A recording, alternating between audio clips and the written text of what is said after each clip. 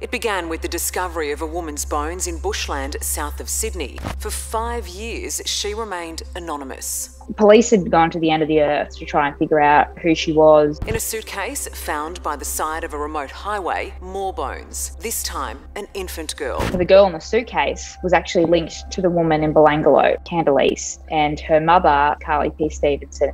Murdered by one of the most evil monsters Australia has known the obvious suspect was Daniel Holdom, and it always felt like there was a larger story to be told there. Karlie Pearce Stevenson and, and her daughter Khandalyce. So this was a story that you've had a huge involvement with, so much so that you wrote a book which I imagine has taken up quite a large chunk of your life. Tell me how you've lived and breathed this story and, and what happened to the mother and daughter. Well, I was reporting at the time, just daily reporting, um, and I re- vaguely remembered this cold case from Belanglo State Forest, which is just south of Sydney. And it was a woman's remains, her bones, that were found in the forest in 2010. And police had gone to the end of the earth to try and figure out who she was, DNA and all kinds of other forensic technology, uh, and they couldn't figure it out. So she was Jane Doe, essentially. There was also a t shirt found next to her remains that had the word angelic on it. So she was known as Angel. And then um, it was 2015. There was a massive case in South Australia involving a young girl's body that was found in a suitcase on the side of a rural highway. Similar circumstances. Police could not figure out who it was. You know, there were no missing person reports that matched the circumstances of this little girl and how she was found and when she was found. And then I remember being in the newsroom one day and there was this very cryptic media advisory that came out from New South Wales Police saying it's going to be a major announcement and an identical alert went out in South Australia. And we're all standing around going, what could this possibly be? Usually they include details, you know, what case they're going to talk about. But this was very vague. You sort of know that it's going to be massive. And then we got to Parramatta and they revealed that well, the girl in the suitcase was actually linked to the woman in Belanglo. So, just to put things in a bit of context, these remains had been found five years apart, 1,200 kilometres apart in different states. Yet, through this amazing police work, they managed to figure out that the girl in the suitcase in South Australia was Khandalyce, and her mother was Karlie P. Stevenson, and she was the girl in Belanglo. The little girl's been identified now as Khandalyce Kiara Pearce. It's actually a double breakthrough in that we've also been able to identify that the human remains found in 2010 in the Belanglo State Forest are that of her mother, Kiara. So in South Australia, when the police were trying to figure out who this little girl in the suitcase was, they said that she had been murdered, but they wouldn't reveal how they knew that. But there was also a lot of clothing and different items found in the suitcase they were really tattered and dirty, but they started releasing some photographs of the clothing. Most of it was from Cotton On or Kmart, so it was mass produced. They didn't have much luck sort of hunting that down, getting any leads off that. But then they released a photograph of this quilt, and it was really unique. You know, you could tell it was handmade. The family of Khandalyce were watching the news and they noticed the blanket and they thought, okay, that looks really familiar. And they went through some old photographs and then found a photograph of Khandalyce sitting in a pram with a pink dress on that was pinstriped, that was also similar to some clothing that was found in the suitcase. And that quilt was behind her head. And the quilt had been made by her grandmother and given to her for Christmas or, or her birthday. So this is about uh, for se- several months after the, um, the body was found. For a bit of background information, and Khandalyce grew up in Alice Springs in the Northern Territory. And in around 2008, Karlie left town with her daughter and a man called Daniel Holdom. She said goodbye to her mum and a family friend, and they were a bit skeptical of Daniel, but you know, Karlie was sort of old enough to make calls on her life and they had to let her go do her thing. She went down to Adelaide where she saw her friend in late 2008, and that was sort of the last sighting of her. And then we now know that she went to Canberra. When her family hadn't heard from her in several months, her mum Colleen put in a missing persons report, and the police um, followed up on that. And there's a little bit of conjecture about why it didn't go anywhere. Essentially, the police said that it was followed up on and they got confirmation that Karlie was still alive, so they didn't need to go on with the investigation any further. But Colleen, Karlie's mother, believed that the case was closed because someone had called Daniel Holdom and said, Do you know where Karlie is? Or had been to his house, and a woman pretending to be Karlie said, Yes, I'm Karlie, I'm alive. I just don't want to talk to my family or I don't want to be found. So the case, the missing persons investigation didn't go any further. Also complicating things was Karlie's bank cards were still being used and her Centrelink payments were still being collected. So it looked as if she was still accessing her bank accounts. Fast forward to a few years later, there were also some reports that Karlie's mum had received um, phone calls from someone she thought was Karlie talking about, oh, mum, you know, I'm, I'm in some trouble here. Can you please wire me $500? I'm going to come home. I promise. Like, I'm going to come home now. One of the most heartbreaking elements of the story was at the time, Colleen was uh, suffering breast cancer and she was undergoing treatment in Adelaide. Colleen always held out hope that her daughter was going to come home. So she would never say, you know, I've wired you enough money. It's not going to happen. Like she, she would always do it hoping that this is the last time, you know, Karlie's going to come home. Colleen ended up passing away um, without knowing what happened to um, her daughter or her granddaughter.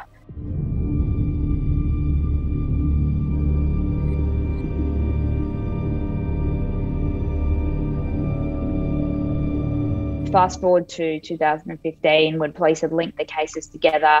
The obvious suspect who was thrown up was Daniel Holdom because they'd gone back and spoken to Karlie's friends and her family and said, you know, who was she last seen with? A lot of people threw up this name, Daniel Holdom. Then they looked him up and figured out that he was in jail in New South Wales at the time for sexually assaulting a young girl at a caravan park. So that was sort of helpful for them that he was out of sight and out of mind. They didn't have to worry about him tainting with um, or interfering with witnesses or anything. They can go about and do their thing. And they ended up carrying out these this widespread operation across multiple states and all these different search warrants at different places he lived. And for a case that was, you know, by this point like eight or 10 years old, the amount of forensic evidence they got was amazing. So, in this place that he lived at in Canberra, they found all these really disturbing diary entries where he essentially fantasized about child sexual abuse mm. um, and other very sickening things. And they managed to pull his fingerprints off it. Hazel Passmore arrived here to speak with major crime detectives. She spent more than four hours being questioned by detectives on Friday, but was released without charge. Miss Passmore is the ex girlfriend of Daniel Holdom, who's been charged with Karlie Pearce Stevenson's murder. One of the raids that the police did was on his ex girlfriend friend's house, a woman named Hazel Passmore. Now, Hazel Passmore and Daniel were together for a few years, and before he got together with Karlie, he was actually involved in a fatal car accident with Hazel, and two of her children died. And she ended up in a wheelchair because of the injury she suffered from that crash. And Daniel was behind the wheel at the time. And it was when she was in hospital undergoing rehab that he ended up in a relationship with Karlie. And Hazel hated that. You know, she resented Karlie. She resented Daniel for leaving her. So it was a very complicated relationship. And police raided their house and they spoke to her. And her first interview that she spoke about, she didn't, she alluded to little bits and pieces that she knew. Um, but she wasn't completely forthcoming. And she did a second interview, but only after she, you know, lawyered up essentially and agreed to an induced statement. So that means that whatever she told the police couldn't be used against her to then charge her. And she essentially spoke about how Daniel admitted to her at one point that he had killed Karlie, but she didn't. She thought he was joking or didn't act on it, and she was actually implicit with Daniel in taking money out of Karlie's bank account after she was dead. And she actually went into Centrelink pretending to be Karlie so she could get a back payment on um, some sort of Centrelink payments. So that was really, really disturbing. The fact that they sort of carried out this fraud in Karlie's name years after she was murdered. And also, when they were carrying out these raids, Hazel's sister saw this on the news and walked into a random police station with a photo SD card and said, "Yeah, I think you need to have a look at this." And on that photo SD card were these images that Daniel had taken of Karlie's body in the Belanglo State Forest, and he had robbed her of, uh, you know, her dignity in the end in the most horrific way. Hazel had given that SD card to her sister saying, if anything ever happens to me, take this to the police. So, years after this murder, police end up with these photographs that essentially put Daniel, by matching, um, having a look at his arm and how it compared to Daniel's arm, the arm in the photograph, putting Daniel at the scene of the crime and Karlie in the angelic t shirt I mentioned earlier at Belanglo State Forest, which was a massive key piece of evidence. And they managed to put together the case in that Karlie and Daniel went to Canberra in late 2008 with Khandalyce. And for some reason or another, they went to Belanglo State Forest. Daniel's murdered Karlie there, and then he's returned to Canberra to pick up Khandalyce.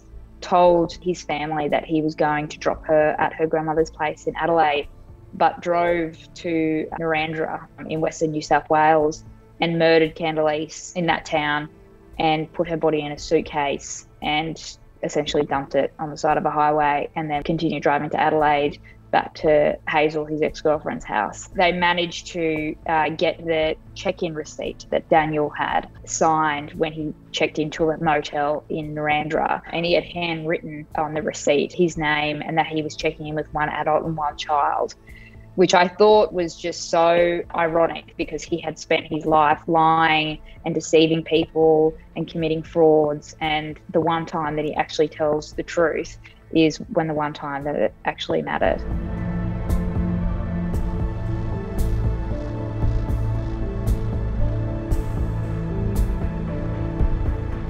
Did anything ever come out about what had motivated his crimes?